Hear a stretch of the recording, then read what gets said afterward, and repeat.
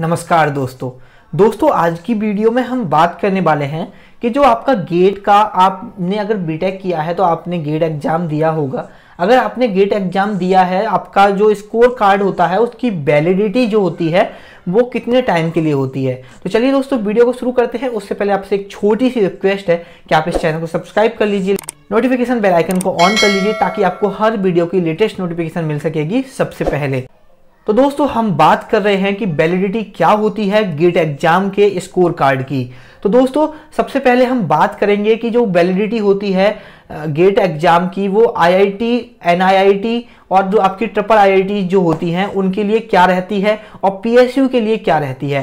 तो दोस्तों, जो आप आईआईटी या एनआईटी या आप पीएसयू इनमें अलग अलग होती है। पीएसयू में अलग होती है और एडमिशन आईआईटी में जो वैलिडिटी होती है, वो अलग होती है। अभी दोस्तों, वैसे अगर हम कंसिडर करें तो थ्री ईयर की वैलिडिटी होती है। अगर आप आईआईटी में एडमिशन लेना चाहते हैं एनआईटी में एडमिशन लेना चाहते हैं, या ट्रिपल आईआईटी में एडमिशन लेना चाहते हैं। अभी दोस्तों सपोज़ आपका जो आज रिज़ल्ट आया तो आज रिज़ल्ट के डेट से, जिस दिन आपका रिज़ल्ट आया है जो वैलिडिटी रहेगी वो आने वाली तीन साल तक रहेगी।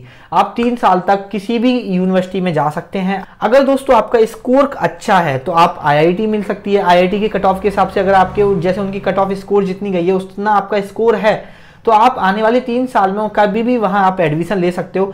जैसे कि अभी आपका स्कोर कम रह गया, उनकी कट ऑफ़ स्कोर ज़्यादा गया, लेकिन नेक्स्ट ऐसा हुआ कि उनका कट ऑफ़ स्कोर कम हुआ मतलब कट ऑफ़ जो गई वो कम पे गई। आपको उतना स्कोर है तो आप नेक्स्ट ईयर एडमिशन ले सकते हो। लेकिन दोस्तों, बहुत सारे बच्चों का कन्फ्यूज़न ये रहता है कि गेट का जो वैलिडिटी होती है वो एक साल के लिए होती है तो ऐसा नहीं है। ऐसा बिल्कुल भी नहीं है दोस्तों। जो आईआईटी है एनआईटी है या ट्रिपल आई है, ये तीनों दोस्तों, इनमें आपका जो गेट का वैलिडिटी होती है वो तीन साल के लिए होती है। दोस्तों, आप किसी भी आईआईटी में एडमिशन लेना चाहते हैं तो वो तीन साल तक वैलिड रहेगा आपका। आपकी जो ऑल इंडिया रैंक होनी चाहिए दोस्तों आईआईटी में एडमिशन लेने के लिए वो 200 होनी चाहिए या अंडर 200 होनी चाहिए। हम कह सकते हैं एनआईटी में दोस्तों, अगर आपको एडमिशन लेना है तो वहाँ भी तीन साल वैलिड रहेगा। वहाँ पर जो दोस्तों, आपकी कट ऑफ़ स्कोर होना चाहिए, वो 300 से लेके 900 के बीच में होना चाहिए, अगर आपको एनआईटी में जाना है। उसके बाद दोस्तों, अगर आपको पीएसयू में जाना है तो दोस्तों पीएसयू वैसे तो ये थ्री ईयर के लिए वैलिड है, लेकिन कुछ पीएसयू ऐसी होती हैं जो कि करंट ईयर के बेसिस पे ही एडवी अपने यहाँ जॉब देती हैं। तो पीएसयू का इतना कंफर्म नहीं रहता है। कुछ पीएसयू तीन साल की एक दो साल पुराने कैंडिडेट का जिनका स्कोर कार्ड दो साल, तीन साल मतलब अभी वैलिड है, तब तक लेती हैं। कुछ पीएसयू ऐसी होती हैं जो कि करंट ईयर का स्कोर कार्ड ही वैलिड रखती हैं।